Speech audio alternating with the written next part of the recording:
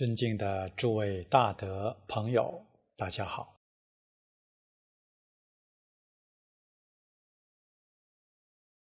我们继续来学习《论语》，请看《为政篇》第十一章。子曰：“温故而知新，可以为师矣。”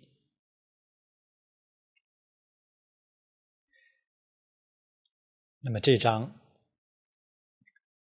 是讲啊，如何来学习这个温，就是温习；故是所学的学问啊，已经啊学过的。这个心呢？就是啊，啊，所学而心有所得的这些学问，比如说我们读书，已经读过的书，我们呢在家读诵思维。古人讲温书。啊，就是温故。那么尚未读过的书呢，现在正在研读，以求啊了解书中所在的道理。这就是知心。所以温故知新呢，是随时吸收新知，而又啊研究以德之学。新学的必定是在已经学过的这个学问基础上再提升。那么不断的温故而知新呢，这是好学。如此好学，就可以为人师。那么朱子的集注里面讲。温寻意也，这个寻意就是回顾和研究的意思。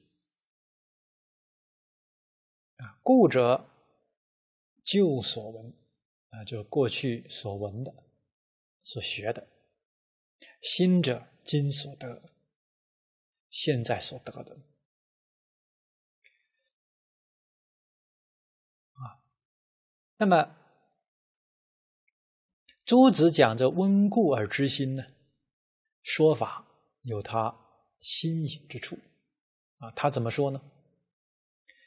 言学能实习旧闻，而没有心得，则所学在我，而其应不穷，故可以为人师。若夫记问之学，则无得于心。而所知有限，故学记积其不足以为人师，正与此意互相发也。啊，那么他这里是由温故来发明啊新的意思。他说：“学能实习旧闻。”啊，学了道理了，能啊常常来温习。那么这个习呀，粗浅的来讲是温习。那么再深一步讲呢，这个习有练习、实践的意思，落实的意思，就是把所学的。用到自己的日常工作生活当中，待人处事皆物都能运用你所学的啊，这叫学能实习旧闻啊。正如《学而篇》第一章讲的：“学而时习之。”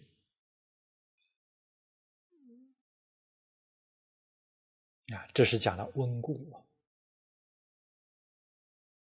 不是说只是啊记在这个口上，口里能讲，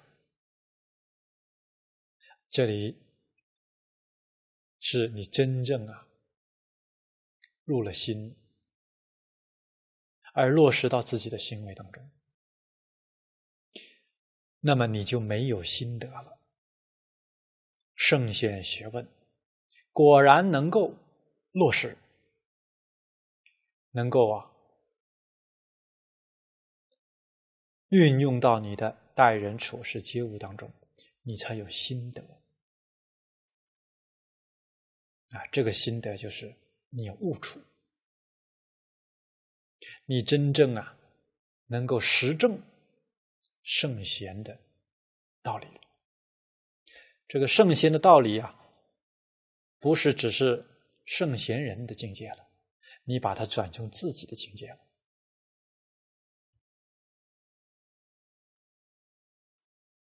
学问是包括信解行证四个阶段。首先，我们能相信圣贤人所说的话是真理。然后你去啊理解，那么如果只停留在信和解上，这不能叫真实学问。这就是后面讲到的记问之学，不足以为人师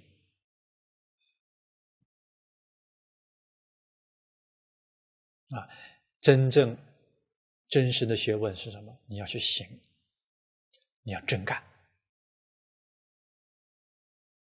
啊！比如说，圣贤教我们孝悌忠信、礼义廉耻，你真正落实到自己的心性上，你真干了，行有所得啊！这就是夫子啊，诸夫子这里讲到的。没有心得，这个德是你真正正得了啊！信解行正，正是什么？证明了，证明圣贤所说的是真的，你自己真有体验啊！这所学在我，这个学才是实学。啊，变成我自己真正的学问了，不是圣贤的学问了，是我的学问了。啊，换句话说，你不知不觉入圣贤之域了。那么，运用这些圣贤道理呢，其应无穷。啊，在日常生活当中。点点滴滴、方方面面，你都能运用，你都能发明圣贤之道，这种人才可以称为人师啊！啊，你可以真正做人的老师啊！所以朱子这个见地很难得啊，不是说。我在啊读圣贤的典籍，不断的温习，不断的背诵，这叫温故啊，又不断的新学一些知识，就叫知心，这个讲的浅呐啊，朱子他悟道，温故知新是你真正要落实圣贤所学问。然后你有心得了，这个心得的体验就是知心啊！知心从哪来的？从温故得来的，也就是你真正学了之后去实习、去真干，这才有心得啊！你才有知心。那么朱子在底下呢，又反面呢，来更加加强这个论点。啊，他说：“若夫记问之学，则无德于心。”什么叫记问之学？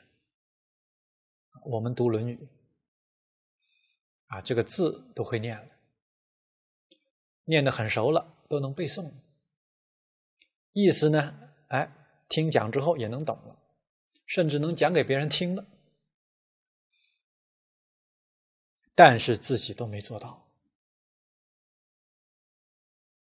啊！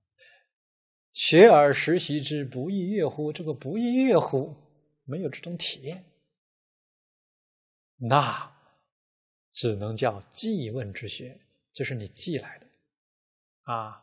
你这个博闻强记呀，你记性好啊，你记得多，不懂的呢，你就问来，你就听来了。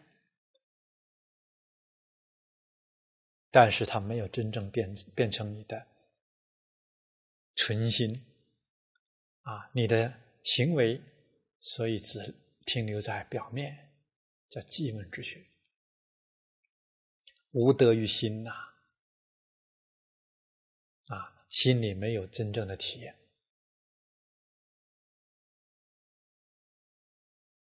那我们的恩师啊。对记问之学呢，送一个很好听的名称，叫儒学。啊，你呢是学儒学的，学的也不错。啊，《论语》可能从头到尾倒背如流，讲的也能头头是道。啊，甚至讲的倾倒一片，但是。在日常生活当中，还是烦烦恼恼啊！君子坦荡荡，小人长戚戚啊！他还是长戚戚啊，心里很多忧虑烦恼。大学里讲的，心里充满了好乐、愤志、恐惧、忧患，心不得其正。身不得其修，啊，家也不能齐，啊，怎么家不能齐呢？啊，你看看，《论语》学的很很很多了，可是呢，夫妻间还常闹矛盾，啊，跟父母、兄弟、儿女关系都处不好。这家没齐呀！啊人家学圣贤之道学的不亦乐乎，这我们学的不亦烦恼乎？这怎么能说有德于心呢？那个通通叫记问之学，搞儒学，不是学儒。啊，儒学和学儒这两个字一调换，意义完全不一样。学儒是什么呢？真正向孔老夫子学，向圣贤学，入他们的境界，哇，你就真正得到啊不亦乐乎了，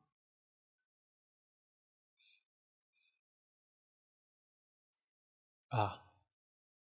那所以记问之学啊，所知有限的，你所学的只能叫知识，知识很丰富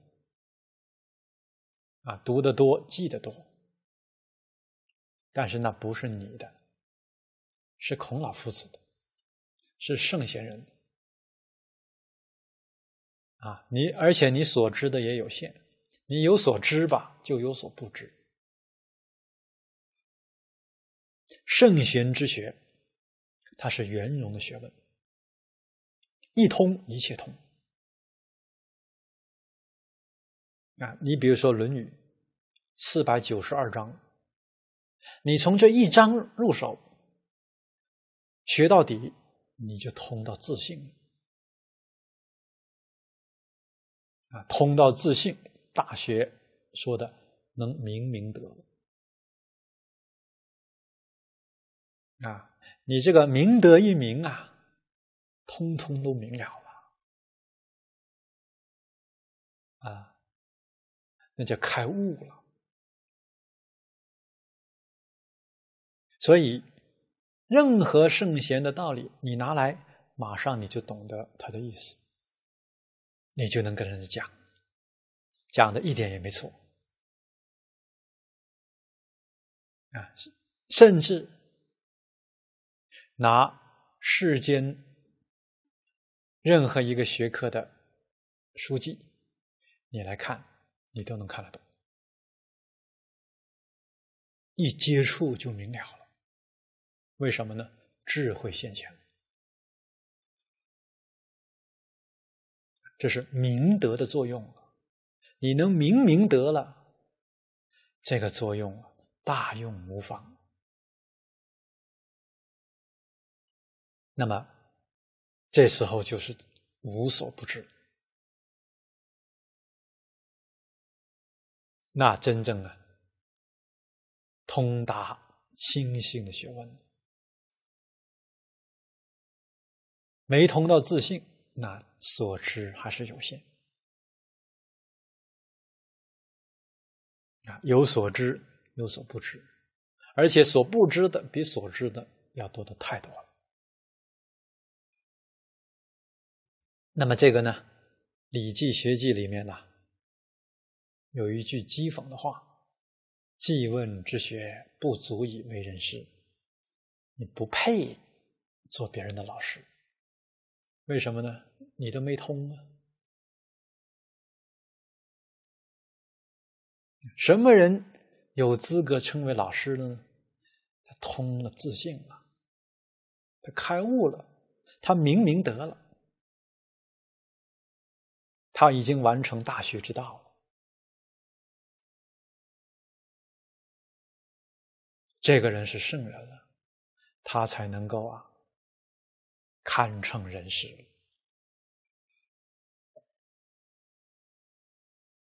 没达到这一点，那都是叫学生那，圣贤的弟子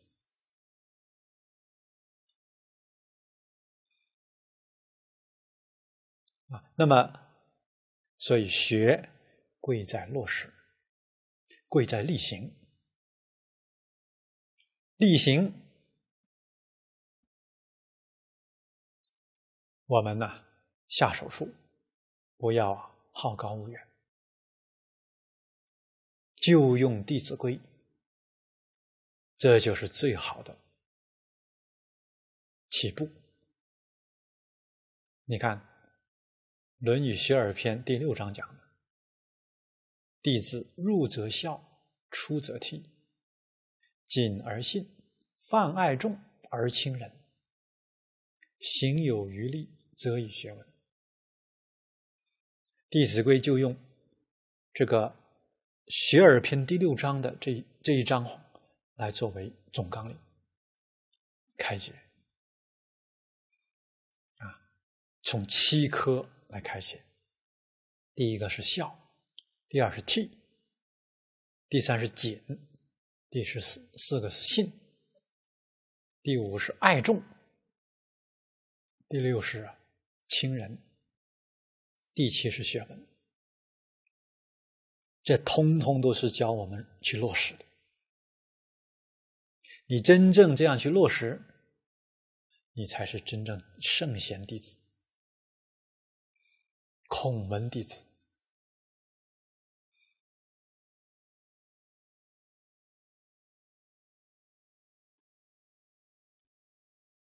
啊。那么你去。学习圣贤的典籍，边学边做，学有心得，跟人分享，这还能勉强成为人师，因为你温故而知新，你真有所得了。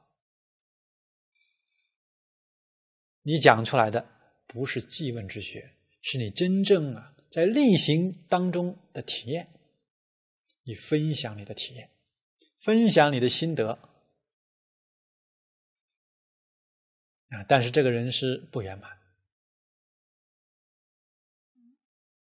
啊，还是在学习的阶段阶段当中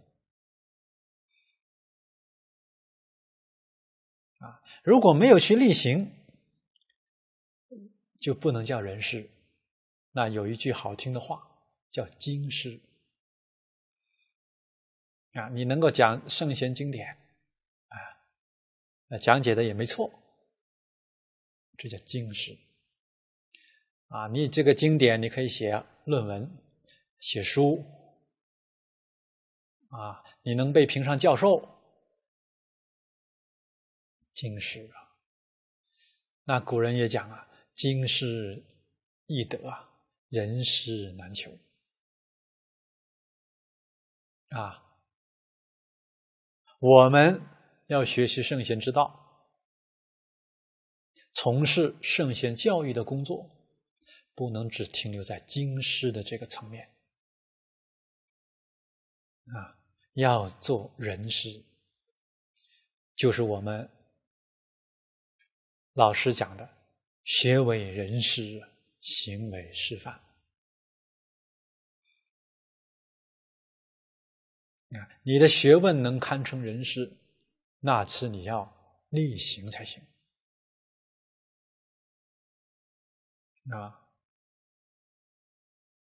你的行为可以作为世间人的榜样、模范。所以，《学记》里面的“不足以为人师”这个意思。跟温故而知新呐，可以互相发明啊，让我们呐正反两方面去理解，什么才是师啊？这个诗是啊一个最低的标准呐，温故而知新。你把你所学的道理真正去力行，才有。新的体会，这叫知行。可以为人师，这个“可以”两个字呢，我们就能够啊体会到，这是夫子讲的最低标准了，勉强可以称为老师啊，人师啊。如果你没有去力行，那就不可以为人师。啊，即使是我们是学富五车了，知识很广博了，一切经啊啊都能够背得滚瓜烂熟，都能够讲解的天花乱坠，那都不能称为师。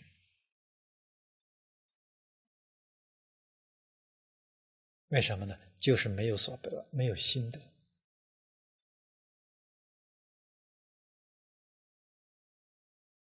好我们来看偶一大师注解里说：“观心为温故，有观心故，缘解开发，得陀罗尼，为知心。盖天下莫故于心，亦莫心于心也。”这个话讲的道理很深刻。啊偶一大师讲：“观心为温故。”你看，一开把就把孔夫子的意思拉到了心性上来讲，真是处处指归呀，心性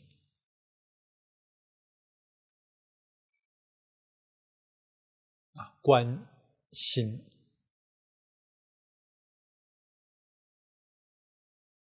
啊，这个心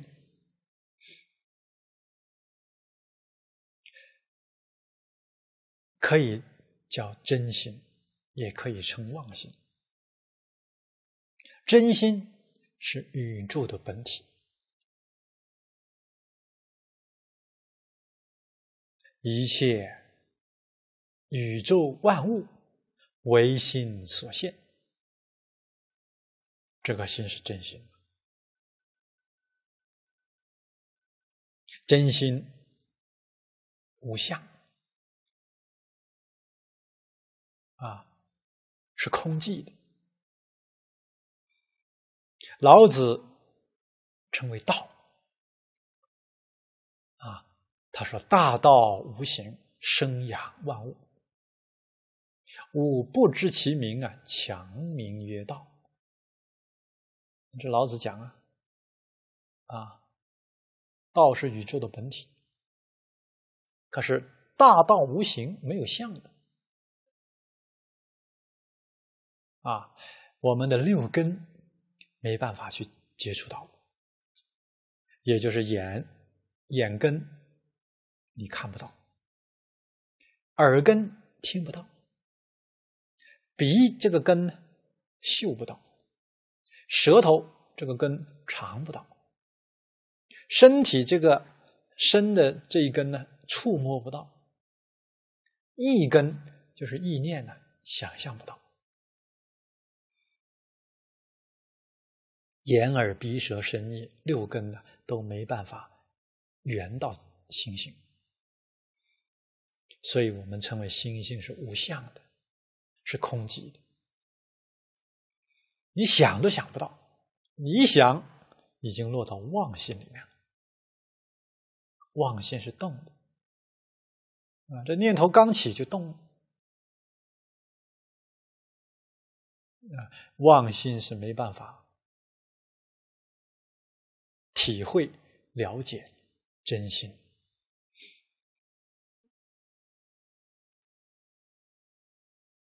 所以六祖大师讲这个心呢，啊，他叫自性，讲的是同一桩事。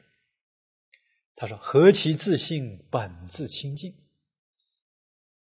本来是清净，啊，何其这个意思就是想不到，真没想到，自信啊，本自清净，就是无形无相，六根都圆不到。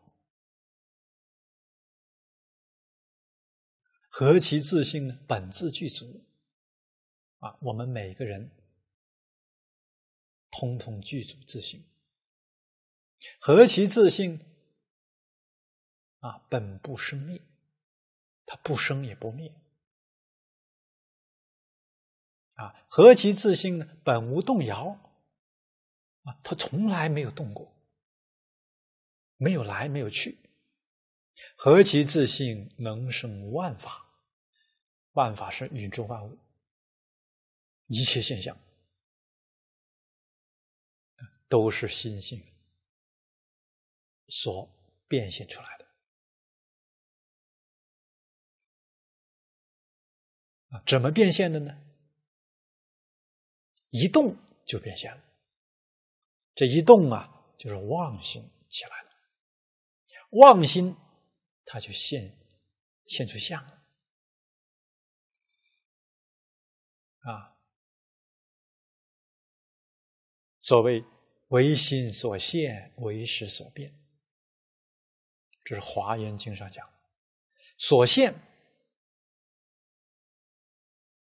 是讲它的能力，它的功能。心真心本性啊，它有能现的这个功能。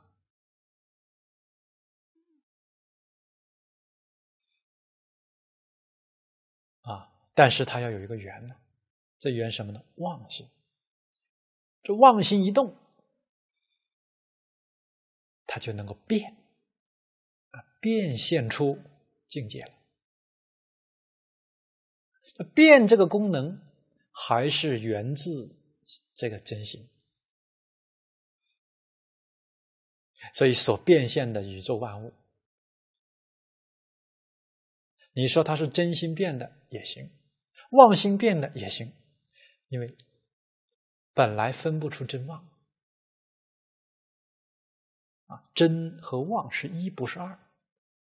从能力变现的能力上讲，是心性的能力，是真心啊，这是因呢。缘呢是这妄心在动，一动就现象，因缘和合。可是呢，又分不出真和妄，因为离了真就没有妄啊，就是离了能现的这个心性的这个功能啊，妄心也就没有了，没有没有发没有作用了，离了妄了，真也找不到，本自空寂。啊，是真妄和合，真妄不二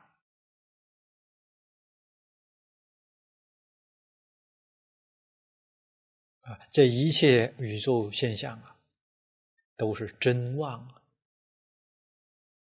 一起变现。所以华严讲的“唯心所现，唯识所变”，这个“识”就是妄心，它所变。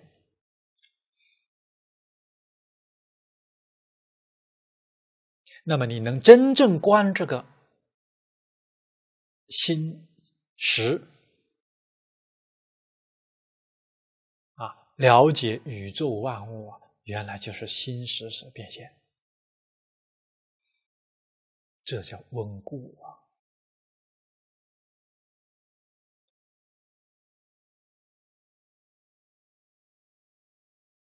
啊，直接。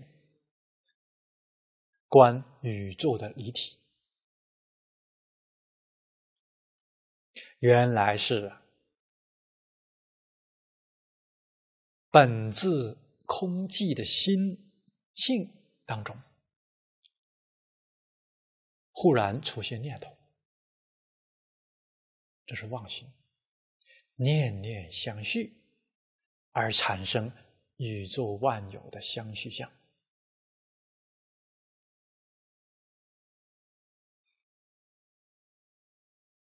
啊，那么你这样关心呢？有关心故，缘解开发得陀罗尼，你就能缘解了。缘解什么呢？宇宙万有的这个道理，宇宙怎么来的？生命怎么来的？啊，他往哪里去？这些通通都明了了，这就是朱子讲的穷理了。啊，穷理是一切理都明白了，也就是圆解。啊，开发开始开悟。发是什么呢？发明一切宇宙万有的真相，你无一不晓，无所不知。的陀罗尼啊，的陀罗尼，陀罗尼是印度语啊，是个佛教用语。它翻译成中文的意思叫“能持”，啊，又可以翻成“能遮”。啊，江谦先生的补注啊，讲“持直善令不失，遮恶令不生也”，啊，这就是陀罗尼。啊，就是我们的心呐，念念都善。这个支持着善念，不令他失掉，这就是夫子讲的“择善固执”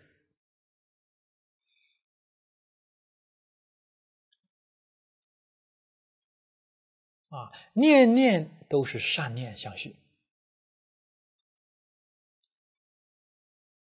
啊，昼夜常念善法。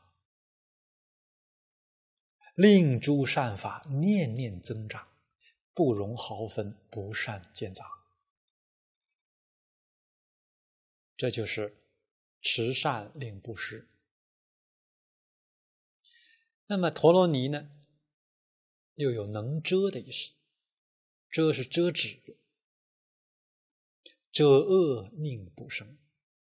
对于恶法、恶念，能够止住，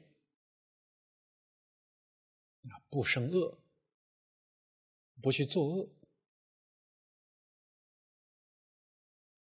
那么，这是讲到陀罗尼。我们知道，心性起作用是性德。性德的流露是纯善的，所以真正能够正入心性。啊，也就是这里讲的圆解心性的道路，开发自信的性德，那么。一切恶都永断了，一切善无穷尽的相续。偶一大师说：“这叫知心的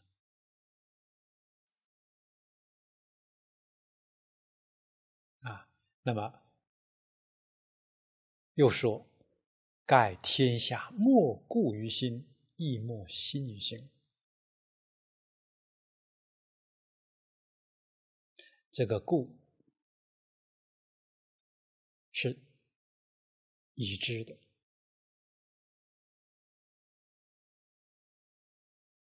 已知的不离心性，未知的是心，未知的今已知了，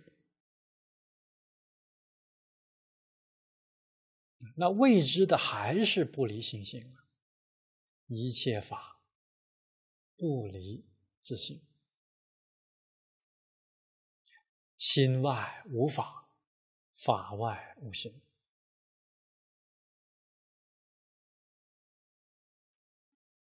所以讲温故，讲知心呢，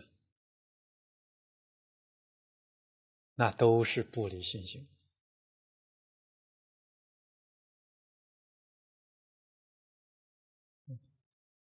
那么，江谦补注里面讲：“温故者，明其不变之体；知心者，妙其随缘之用。温故是正念真如，知心是善行方便。”这个补助啊，补得好。他讲的温故。就是明心啊，不变之体就是信心性，它本不动摇，本不生灭。啊，这是讲到不变了。啊，心体不变，所以温故。就是明心见性，知心正悟心性之体了，这样便能有啊无穷妙用啊，它能够随缘，随什么缘呢？随一切众生妄想分别执着的缘。而现无穷尽的境界，所以它能生万法啊？怎么生啊？随着缘来生，随着妄想分别执着，这都是妄心，随着妄心生。真心呢不变，不变而能随缘。这个随缘是从它的用上讲，不变是从它的体上讲。所生的万法是他的相，体相用都是不可思议。所以，真正大彻大悟、明心见性的人，他能够与一切法不起心、不动念，而能变应万物。啊，这就是随缘妙用。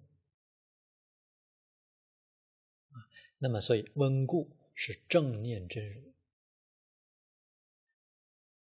正得真如的离体，念念不离自性，这叫正念真如啊！啊，知心是善行方便，那讲的随缘，跟一切众生接触往来，随众生心呢应所知量。应以什么身得度，他能现什么身而为说法，无穷的方便，这叫知行。那我们从这里看到，偶一大师把夫子的这个温故知新呢，提到心性的高度，那。达到这种境界，才可以为人师。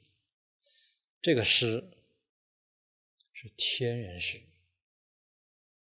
啊，天上地上啊，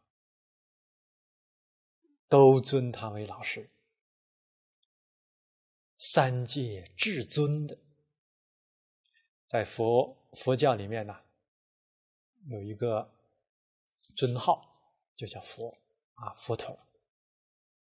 所以佛陀叫大师，为什么呢？他证悟了信心性啊，他有无穷的随缘妙用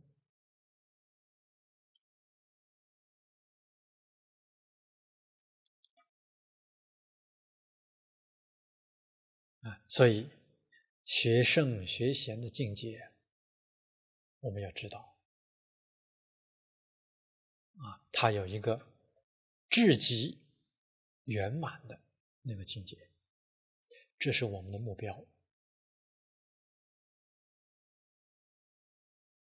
啊，而具体下手术，那还是要按部就班，按照次第。而不能够一步登天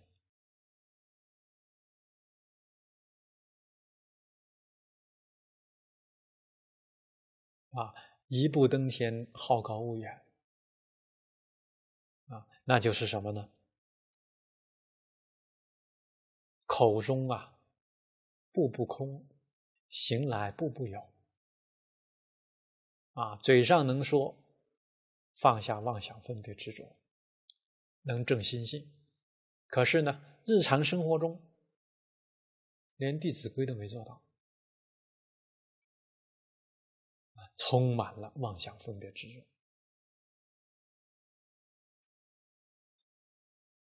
那这种人，充其量叫搞佛学，不是叫学佛。啊，学佛就是放下，明心见性，其实不外乎就是从放下功夫得来。你看看，本性啊，这个心性本有，现在呢，我们这个心性不起作用了，得不到。随缘妙用，但是虽然它不起作用了，它还在啊，它没有一刻会消失，它是本不动摇，本不生灭。所以释迦牟尼佛成道之后，你看在《华严经》里讲到：“奇哉奇哉，众生皆有如来智慧德相，但因妄想执着，不能证得。”他很叹叹奇奇妙啊！一切众生啊，包括你，包括我，包括他，都有如来的智慧德相。如来智慧是圆满，德能圆满，相好是圆满，就讲到福报，福报和智慧都是圆满的。但是现在为什么显现不出来呢？这是因为有妄想、分别执着。啊，虽然这里没讲出分别，但是分别含在其中。啊，那么妄想、分别、执着本来没有，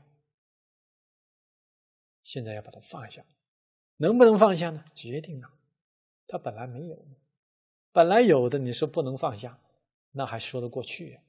那本来没有的。就一定能放下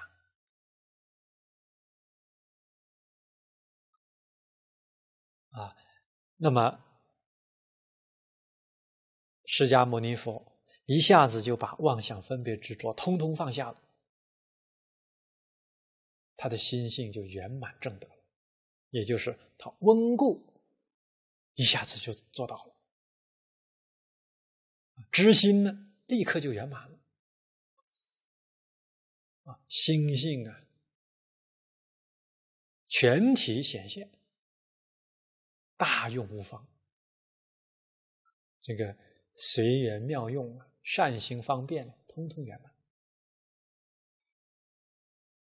那我们呢，根性比他差，这不能一下子全部放下呢。那佛告诉我们，一步步来。啊，先从断执着开始。啊，执着就是啊，非得怎么样？啊，很强的这个个性，要控制，要占有，要支配，这些念头是执着。啊，那么执着里面分善分恶。那我们先要放下恶，啊，断恶修善，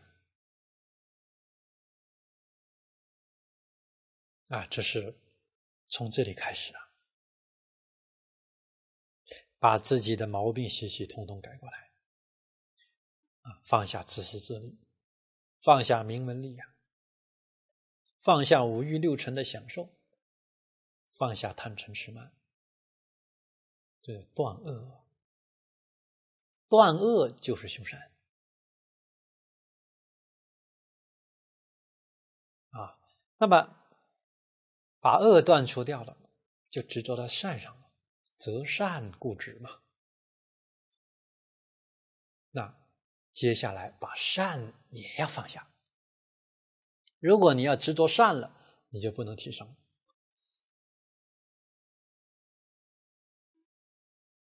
那充其量，你可以称为世间的君子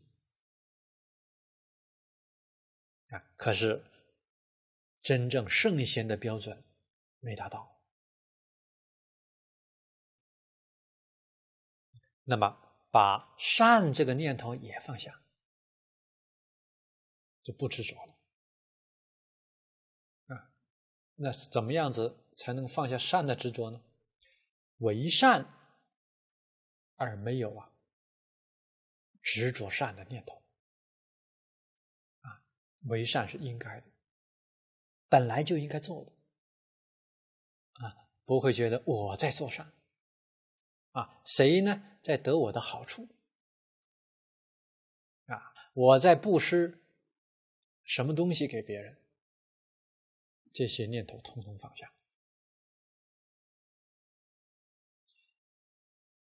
啊，这就是不执着善而去行善。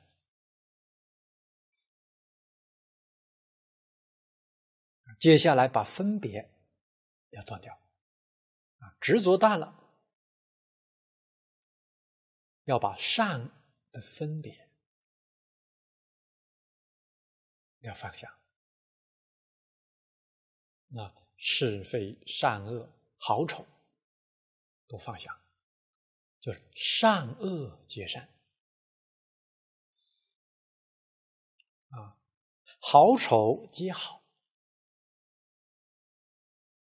啊，人人是好人，事事是好事，日日是好日，时时是好时，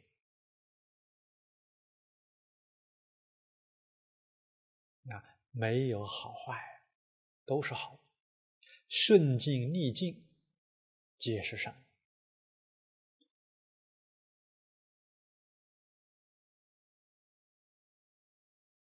啊，心里面没有那种啊分别执着的念头了，进而再提升，把起心动念都放下。啊，境界现前的时候，能够保持我们念头不动，这个功夫。就很高了，我们凡人达不到。啊，凡人见到境界现前，你说怎么能不动念头？啊，你比如说这个，把书拿给你看，哎，你见到了，你肯定动念头。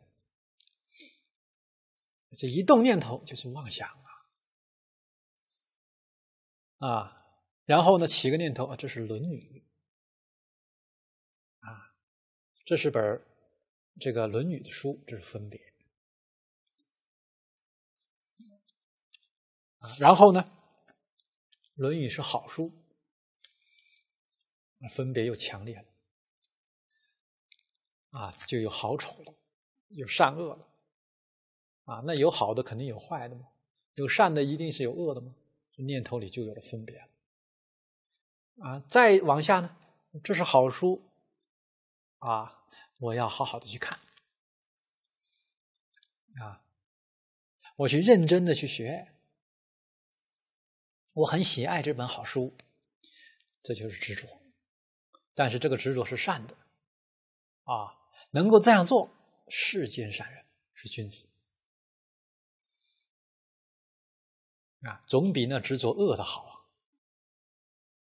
啊，总比喜欢这个恶的书那要好啊！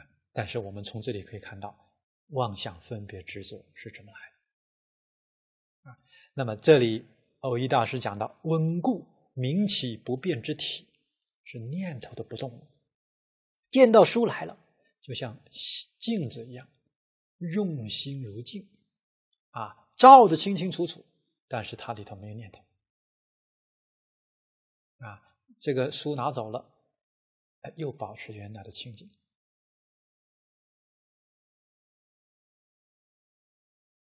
啊，照的时候有没有起妄想分别执着？说这是书呢？没有。